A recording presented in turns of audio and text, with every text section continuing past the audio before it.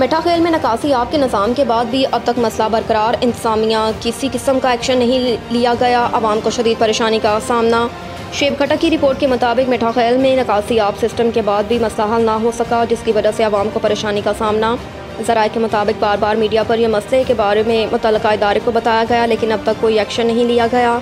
तमाम मेन हलकों के ढक्कन मुतन और मज़बूत नहीं। वो दो तीन ढक्कन मेन बाज़ार में टूट फूट का शिकार, जिसकी वजह से ये मेन हॉल के ढक्कन को तैयार छत के सलब लगाया गया, जो कि मज़बूत नहीं और ज़्यादा लोड के बायस टूट सकता है। रोज़ाना लोड गाड़ियों और भारी वज़न ट्रैक्टर ट्रॉलियों की आमदरफ्त की जा रही है, जिसमें किसी भी वक्त गाड़ी, राहगीर, स्कूल बच्चे, बूढ़े और नजराना गिर सकते हैं, जिसकी गहराई तकरीबन पंद्रह फिट की है। इस किस्म की जानी और माली नुकसान का बायस बन सकती है, लिहाजा इंसामियत से तमाम आवाम और दुकानदार से नोटिस लेने का मुतालबा है।